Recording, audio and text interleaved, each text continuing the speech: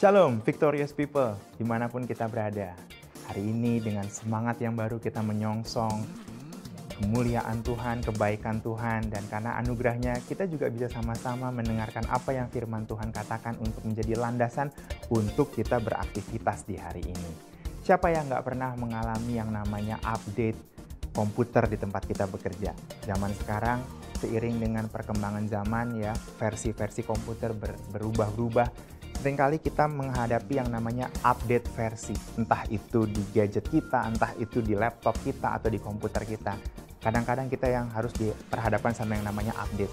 Supaya apa? Supaya perangkat kita tetap kompatibel, tetap bisa bekerja dengan beban pekerjaan yang ada dan memberikan performa yang lebih baik dan lebih baik lagi. Nah, sebagai umat Tuhan ternyata Tuhan juga menginginkan kita untuk diupdate senantiasa, untuk dimutakhirkan senantiasa bahkan bukan cuma hitungan tiga bulanan, empat bulanan, enam bulanan, satu mingguan, satu bulanan, setiap hari dalam kehidupan kita. Tuhan ingin kita diupdate. Nah, bagaimana dengan hari ini? Apakah kita ingin diupdate sama Tuhan? Pastinya harus siap, karena Tuhan menginginkan kita terupdate, termutakhirkan setiap hari. Kita belajar dari satu pribadi hari ini yang senantiasa bisa menerima update-nya Tuhan. Kendati pun usianya bukan lagi usia muda, tapi masih bisa melakukan hal-hal yang dilakukan oleh orang-orang yang lebih muda dari usianya. Kita akan belajar dari pribadi Caleb hari ini. Bagaimana Caleb bisa memberikan inspirasi buat kita, di mana Allah senantiasa mengupdate kehidupannya untuk relevan dengan rencana Allah dan melakukan hal-hal yang besar dalam kehidupannya untuk memuliakan nama Tuhan. Mari saya ajak uh, Victorious People untuk merenungkan ayat uh, Alkitab. Kita buka di Yosua pasal yang ke-14 ayat 7 sampai 11. Aku berumur 40 tahun.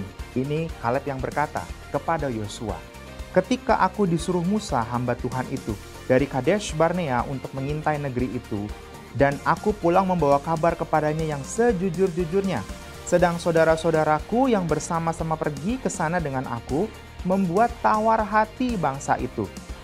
Aku tetap mengikuti Tuhan Allahku dengan sepenuh hati. Pada waktu itu Musa bersumpah katanya, Sesungguhnya tanah yang diinjak oleh kakimu itu akan menjadi milik pusakamu dan anak-anakmu sampai selama-lamanya, sebab engkau tetap mengikuti Tuhan Allahku dengan sepenuh hati. Jadi sekarang sesungguhnya Tuhan telah memelihara hidupku seperti yang dijanjikannya. Kini perhatikan, sudah 45 tahun lamanya sejak diucapkan firman Tuhan itu kepada Musa. Dan selama itu orang Israel mengembara di padang gurun. Jadi sekarang aku telah berumur 85 tahun aku hari ini. Pada waktu ini aku masih sama kuat seperti pada waktu aku disuruh Musa, seperti kekuatanku pada waktu itu. Demikianlah kekuatanku sekarang untuk berperang dan untuk keluar masuk. Pada saat Yosua dan Kaleb mengintai Kanaan, dan pada saat mereka masuk menduduki tanah kanan, ada jeda waktu 45 tahun. Waktu yang lama. Di mana waktu tersebut adalah waktu yang cukup lama untuk bisa melihat perubahan terjadi di kiri kanan. Ya kok dibandingkan hari ini zaman dulu, zaman pada waktu itu belum terlalu signifikan perubahannya. Tapi zaman sekarang 40 tahun sudah banyak yang berubah. Dan Caleb masih bisa menyesuaikan diri dengan perubahan zaman yang ada, tetap punya kekuatan yang sama, bahkan punya kemampuan untuk menduduki tanah yang dijanjikan 45 tahun sebelumnya. Apa yang menjadi rahasia Kaleb? Saya cuma berpikir seperti ini. Dalam waktu 45 tahun, selain kekuatan fisik berkurang karena usia bertambah, yang namanya strategi berperang pasti juga ada perubahan. Dalam 10 tahun, terjadi perang ini itu, yang berikutnya orang pasti berpikir, wah strategi itu udah udah usang. Kita pakai strategi baru untuk memasuki daerah ini, untuk berperang, untuk melakukan ini, untuk ini. Demikian pula dengan kehidupan kita. Strategi untuk berbisnis, strategi untuk berdagang, strategi untuk sekolah dan kuliah. Pasti ada yang berubah, kurikulum saja berubah. Sekarang sistem pandemi buat bisnis juga pada akhirnya berubah yang tadinya fisik sekarang berurusan dengan dunia maya atau virtual. Pasti ada strategi yang berubah. Namun pelajaran yang bisa kita lihat dari Caleb, Caleb bisa menyesuaikan perubahan zaman. Ia tidak lekang sama hal-hal yang terjadi di waktu yang waktu yang lalu, tapi dia bisa mengupdate diri, mengaktualisasi dengan perubahan yang ada pada waktu dia di usia ke-85 tahun, rentang waktu 45 tahun. Dan apa yang menjadi rahasia Caleb? sehingga dia tetap bisa sama punya kekuatan yang sama dan tetap bisa melakukan apa yang tadinya berubah dan tetap bisa relevan dengan rencana Allah. Kaleb senantiasa diupdate sama Tuhan. Kaleb senantiasa menerima yang namanya pemeliharaan Tuhan. Seperti yang tidak kita dibaca di Yosua 14 ayat 7 sampai 11. Tuhan memelihara kehidupan Kaleb. Artinya Tuhan senantiasa berurusan sama Kaleb. Kita harus mengizinkan memelihara kehidupan kita hari demi hari. Artinya, biarkan Tuhan berurusan dengan kita untuk memberikan kepada kita sesuatu yang fresh setiap hari.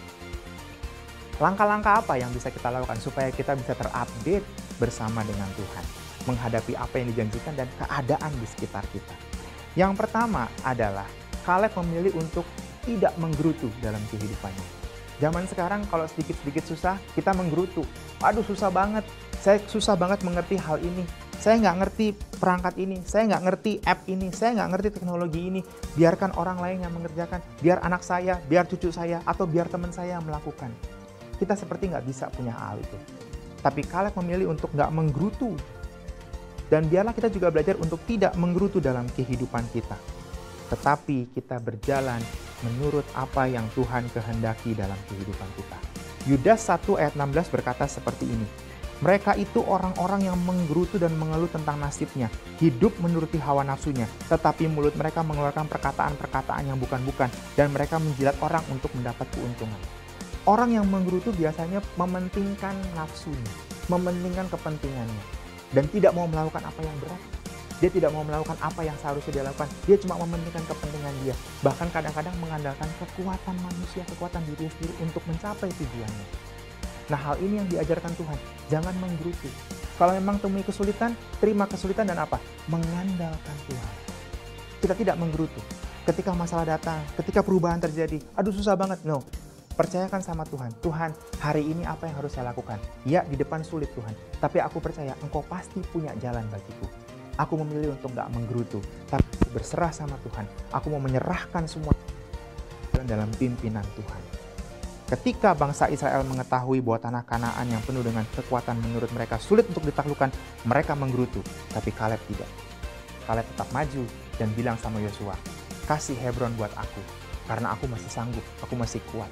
Di sana memang banyak orang yang kuat, raksasa-raksasa orang anak ada di situ.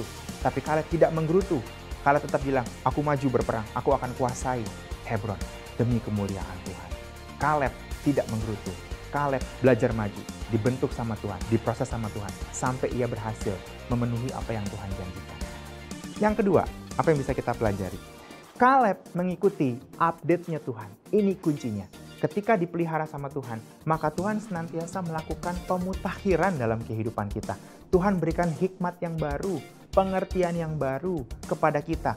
Bukan dua hari sekali, bukan seminggu sekali, bukan sebulan sekali, tapi setiap hari Firman Tuhan berkata di Ratapan 3 ayat 21 sampai 23. Tetapi hal-hal ini yang kuperhatikan.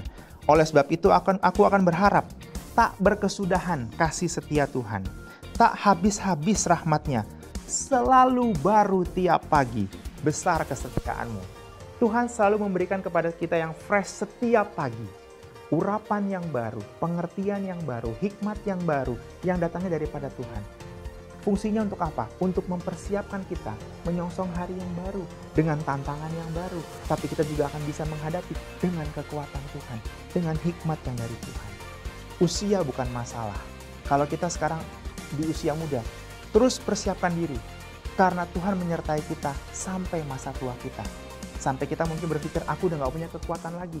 Tapi Kaleb menunjukkan di usia ke-85, dia tetap kuat karena Tuhan pelihara. Janji Tuhan di Yesaya 60 Yesaya 46 ayat yang keempat. Tuhan berfirman seperti ini, "Sampai masa tuamu, aku tetap dia. Dan sampai masa putih rambutmu, aku menggendong kamu. Aku telah melakukannya dan mau menanggung kamu terus. Aku mau memikul kamu dan menyelamatkan kamu." Sampai masa tua kita, Tuhan tetap menyertai kita. Tuhan sekali-kali nggak pernah meninggalkan kita. Kalau hari ini kita menghadapi masalah, percayalah, Tuhan berjanji sampai akhir hidup kita, kita akan disertai Tuhan.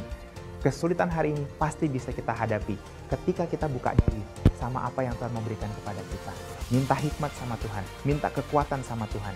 Kita akan berjalan terus dalam pemeliharaan Tuhan, dalam update-nya Tuhan. Dan kita akan bisa menghadapi segala yang di depan kita dan meraih janji Tuhan yang luar biasa. Sudah siapkah Anda untuk menjalani kehidupan hari ini? Mari kita berdoa. Terima kasih Tuhan untuk berkat-Mu, untuk janjimu yang Kau berikan kepada kami hari ini. Kami tahu Tuhan Engkau punya maksud yang indah bagi kami setiap hari. Itu sebabnya kami mau buka hati hari ini untuk menerima update-nya Tuhan. Berikan kami hikmat yang baru Tuhan, berikan kami kekuatan yang baru, supaya kami bisa menghadapi apa yang harus kami lakukan hari ini. Tantangan boleh ada, tapi kami percaya Engkau sekali-kali tidak akan meninggalkan kami. Engkau tetap akan menyertai kami, bahkan sampai masa tua kami. Dikala kami berpikir kami nggak punya kekuatan, tapi Tuhan akan memegang tangan kami dan akan membuat kami menyelesaikan perjalanan iman kami bersama dengan Tuhan. Terima kasih Bapak. Kami siap menyongsong hari ini dengan kekuatan yang daripadamu, dengan hikmat yang daripadamu. Dan kami buka lembaran kehidupan kami dengan mengucap syukur hanya di dalam nama Tuhan Yesus Kristus. Amin. Victorious People, sampai berjumpa kembali. Tuhan Yesus memberkati.